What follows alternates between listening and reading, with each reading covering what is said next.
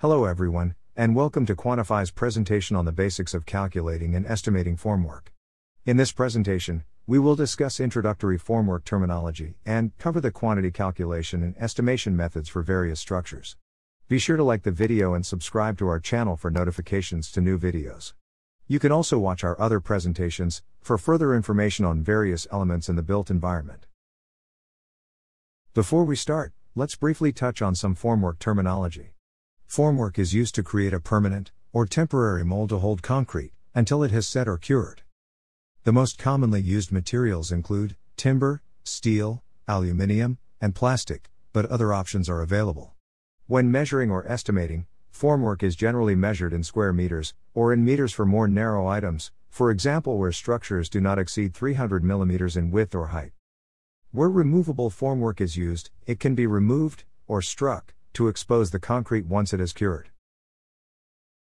The curing time of concrete is dependent on the type of structure and if the formwork is supporting any weight, for example, a form supporting the sides of a surface bed, can be struck the day after casting concrete, whereas, formwork to a beam, may be in place for 7 to 14 days. As concrete hardens, the pressure exerted upon the formwork is reduced. Falsework refers to a supporting structure, which assists the formwork in holding a form, until the structure can support itself. Formwork components have various names, but for this presentation we will use the following Sheathing, or sheeting, forms the face to receive the concrete, normally made of plywood. Soldiers, or studs, vertical members, used to support, align, and strengthen formwork. Waler, horizontal members, used to hold studs or sheathing in position. Sill, or sole plate, horizontal member, placed at the base of the form. Push pull props. Steel props, used to support vertical forms. Support props. Falsework adjustable props, used to support girders and bearers. Bearers, or girders. Offer a high load bearing capacity as support for columns, walls, and soffits, made from timber. Joists. Members below sheathing, supported by girders or bearers. Tie rods and tubes. Sacrificial ferrule tubes are placed between sheets, steel tie rods are run through their centers, with nuts on either end to tighten and pull the walls towards one another. Concrete is cast, and once set, the nuts and steel rods can be removed and the formwork struck. Let's work through the cost aspects of formwork. To calculate the cost of formwork, we require, or need to make assumptions on the following information the size and quantity of the concrete structure to be cast. The type of formwork material to be used for the form. Position of work, that is, foundations, beams, columns, multi-story buildings, etc. Number of reuses of the formwork. Whether finish required is to be smooth or rough. The duration the formwork is required on site. If the formwork is hired or owned. Moving on to our first cost analysis, let's work through the steps of pricing column formwork. To tender accurately, Contact your local suppliers for current rates and substitute your local currency into the analysis. For this exercise, let's use the South African Rand and assume the following concrete column of 350 mm by 250 mm wide by 2 meters high. We will assume reusing the formwork four times. 18 mm thick plywood sheet, size 2.44 meters by 1.22 meters, equals 400 Rand per sheet. 50 mm by 76 mm studs at 150 mm centers, and walers at 350 mm centers, equals 35 Rand per meter. Nails equals 15 Rand per kilogram, multiplied by 0.25 kilograms per square meter, plus 5% waste. Push pull props equals 20 Rand per number per week. Shutter oil, at 0.20 liters per square meter, equals 20 Rand per liter. Concrete to cure for 3 days, prior to striking formwork one carpenter, at 648 Rand per day, and one laborer, at 405 Rand per day, can make up formwork in 5 hours, and set up and strike in 1.5 hours. Let's work through the plan view of a column. Firstly, the reinforcing will be fixed in place. Next, we need to build up the sheathing, studs, and walers. Once we have made up and erected the formwork in place, we can fix the push pull props. We can then pour the concrete into the form. The elevation shows a few additional components in the column formwork. Firstly, the reinforcing will be fixed in place. Next, we need to build up the sheathing, studs, walers, and the sole plate. As before with the plan view, once formwork has been made up and erected in place, we can fix the push pull props. We can then pour the concrete into the form. Using the preceding information and assumptions, we are now equipped to accurately price column formwork. Preliminaries. Unit of measure is in square meters. Formwork cutting waste assumed at 5%. The applicable quantities for four columns are calculated as follows. Column 4 number, multiplied by two sides, multiplied by, open bracket 350 millimeters, plus 250 millimeters, multiplied by 2 meters high, equals 9.60 square meters. Sheathing. 4 columns, multiplied by two sides, multiplied by, open bracket 350 millimeters, plus 18 millimeters for the thickness of the sheathing, plus 250, plus 18 millimeters, close bracket, multiplied by 2 meters high, equals 10.176 square meters. Studs. 4 columns, multiplied by 2 studs, multiplied by 2 sides, multiplied by 2 meters high, equals 32 meters. Walers to the short side of the column. 4 columns, multiplied by 4 walers, multiplied by 2 sides, multiplied by, open bracket 75 millimeters for the waler width, plus 75 for the stud width, plus 18 for the sheathing, plus 250, plus 18, plus 75, plus 75 mm for the studs and walers on the opposite side, close bracket, equals 18.752 meters. Walers to the long side of the column. 4 columns, multiplied by 4 walers, multiplied by 2 sides, multiplied by, open bracket, 18, plus 350, plus 18 millimeters, close bracket, equals 12.352 meters. Moving on to the rate analysis for column formwork. First, we can start with columns for the resources, unit, quantity, rate, and amount. Next, we need to allow for materials and labor to make up the formwork required. As per our earlier assumptions, we know the size of a sheet of plywood to be used for the sheathing is 2.44 meters long by 1.22 meters wide, which equals 2.977 square meters. The sheathing required totals 10.176 square meters per column. Therefore, 10.176 square meters, divided by 2.977 square meters, equals 3.4, so we will need to purchase four full sized plywood sheets for our columns. Timber is supplied in 6 meter lengths, therefore, we will need 36 meters for the studs, and 36 meters for the walers. A carpenter, teamed up with one laborer, can make up a column box in 5 hours. Therefore, the materials and labor required to make up a column box will cost 4,705 Rand, which we can reuse four times for the four column boxes. We can carry the cost, to make up one column box forward from before. Next, we need to allow to erect, and later strip the column box once the concrete has been cast and cured. To erect the box and ensure it is held in position, we will need nails and props. Nails we have assumed at 25 kilograms per square meter, with 5% waste. We will hire props to hold the box in position for two days, therefore 4 props for 2 days, divided by 7 days per week. Shutter oil assists with removing the formwork from the concrete once cured. We can apply the shutter oil to the face of the sheathing which will receive concrete. Lastly, the labor team from before can erect and strip the column box formwork in 1.5 hours. Therefore the cost for one column's formwork is 1452 rand and 96 cents. This can be divided by the area of the column to receive formwork to provide a rate per square meter for formwork. That is, 1,452 Rand and 96 cents, divided by 9.6 square meters, equals 151 Rand and 35 cents. Next, let's work through the steps of pricing slab soffit formwork. Let's assume a concrete slab of 5 meters wide, multiplied by 9 meters long, which equals 45 square meters. We will assume reusing the formwork four times. 21 millimeters thick plywood sheet, size 2.5 meters, by 1.25 meters, at 30 Rand per sheet, per week. If you consider the width of the slab at 5 meters, divided by a 1.25 meter wide sheet, we will need 4 sheets for the width of the slab. The 9 meter long slab, divided by 2.5 meters equals 3.6 sheets, which we round up to 4 sheets. Therefore, we will need 16 sheets in total.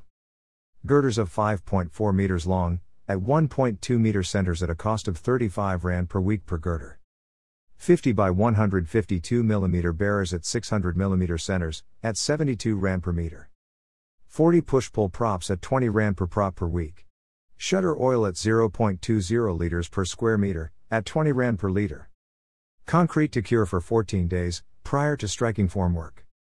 1 carpenter, at 648 Rand, per 9 hour workday, which includes for an hour's paid lunch, and 6 laborers, at 405 Rand per day per laborer, can make up formwork in 9 hours, and set up and strike in 18 hours.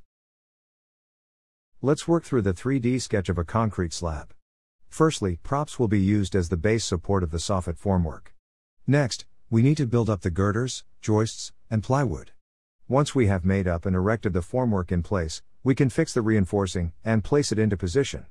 Formwork to the sides and edges can be set up, but for this exercise will be measured elsewhere.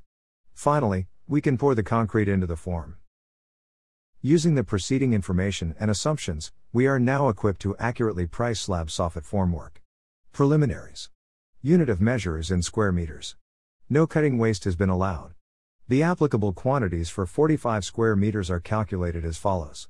Slab, 5 meters, multiplied by 9 meters, equals 45 square meters. Sheathing, 16 sheets as per our earlier calculations, which covers 50 square meters. Girders, 5.4 meters long, will run along the length of the slab, that is, 5 meters divided by 1.2 meter centers, plus 1 girder, equals 6 girders, multiplied by a 9 meter long slab, divided by a 5.4 meter long girder, therefore a total of 10 girders. Joists, 6.6 meters long, will run along the width, therefore, 9 meters, divided by 600 millimeter centers, plus 1 girder, equals 16 joists, multiplied by 6.6 meters, so a total of 105.6 meters. Moving on to the rate analysis for slab soffit formwork. As before, we start with columns for the resources, unit quantity, rate and amount. We need 105.6 meters of 50 by 152 millimeter joists, that can be made up by a carpenter, teamed up with 6 laborers in 9 hours. Therefore, the materials and labor required will cost 10,681 Rand and 20 cents, which we can reuse four times. We can carry the cost to make up formwork forward from before. Next, we need to allow to erect and later strip the soffit formwork once the concrete has been cast and cured. To erect the soffit formwork and ensure it is held in position, we will need nails, props and girders. Nails we have assumed at 25 kilograms per square meter, with 5% waste. We will hire props to hold the soffit in position for 14 days, therefore 40 props for 14 days, divided by 7 days per week. Shutter oil assists with removing the formwork from the concrete once cured. We can apply the shutter oil to the face of the shutter ply which will receive concrete. We will hire the shutter ply sheets, therefore 16 sheets, multiplied by 14 days, divided by 7 days per week. 10 girders will also be hired for 2 weeks. Lastly, the labor team from before can erect and strip the soffit formwork in 18 hours. Therefore the cost for the soffit formwork is 12,463 rand and 18 cents. This can be divided by the area of the soffit to receive formwork to provide a rate per square meter for formwork. That is 12,463 rand and 18 cents divided by 45 square meters, equals 276 Rand and 96 cents. Our final formwork analysis in this presentation will be for stairs. For this exercise, let's assume the following. Stair width 1.2 meters wide. Stair riser 165 millimeters high, stair tread 250 millimeters wide, by 8 steps. 18 millimeter thick plywood sheet, 2.44 meters, by 1.22 meters at 400 Rand per sheet. 50, by 76 mm joists at 400 mm centers, equals 36 Rand per meter. 50, by 76 mm bearers at 700 mm centers, equals 36 Rand per meter. Push pull props at 20 Rand per number, per week, by 6 props. Shutter oil at 0.2 liters per square meter, at 20 Rand per liter. Concrete to cure for 7 days, prior to striking formwork. One carpenter at 648 per day, and two laborers at 405 Rand per day, can make up formwork in 18 hours, and set up and strike in 18 hours. Let's work through the 3D sketch of a concrete staircase. Firstly, props will be used as the base support of the stair soffit formwork. Next, we need to build up the joists, bearers, and plywood. The formwork to the sides of the stairs can follow on. Reinforcing can then be fixed into position. Next, the riser formwork, a bearer and stays can be fixed into position. Lastly, we can pour the concrete into the form, creating our staircase.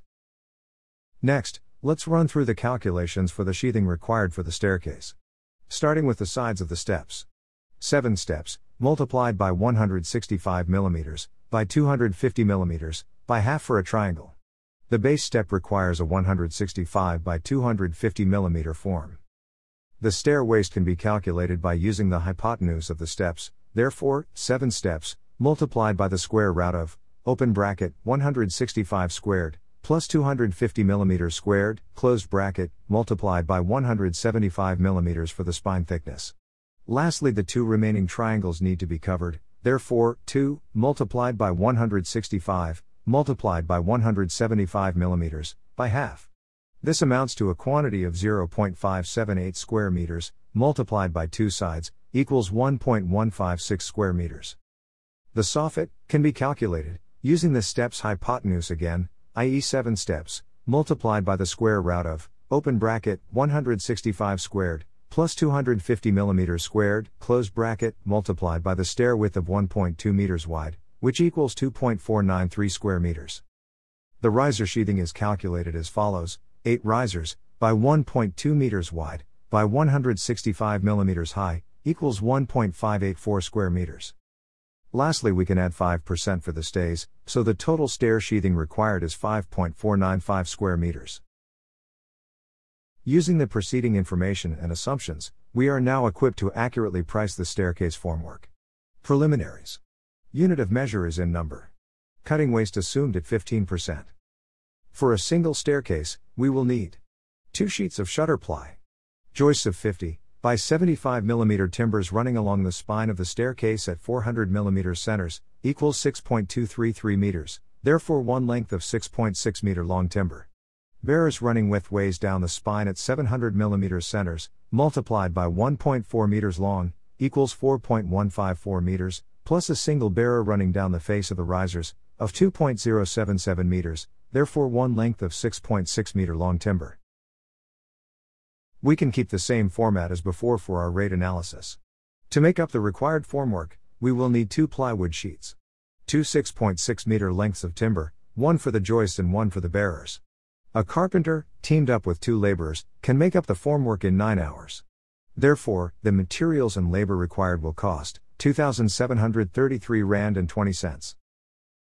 We carry the cost to make up formwork forward, as before. Next, we need to allow to erect, and later strip the soffit formwork once the concrete has been cast and cured. To erect the soffit formwork and ensure it is held in position, we will need nails and props. Nails we have assumed at half a kilogram per square meter, with 5% waste. We will hire props to hold the soffit in position for 7 days, therefore 4 props for 7 days, divided by 7 days per week. We can apply the shutter oil to the face of the shutter ply which will receive concrete. Lastly, the labor team from before can erect and strip the soffit formwork in 18 hours.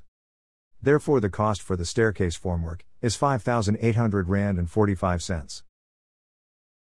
And that concludes Quantifii's presentation on formwork theory and cost analyses. Thank you for watching.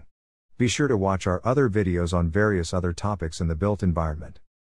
Please like the video and subscribe to our channel if you found the video insightful.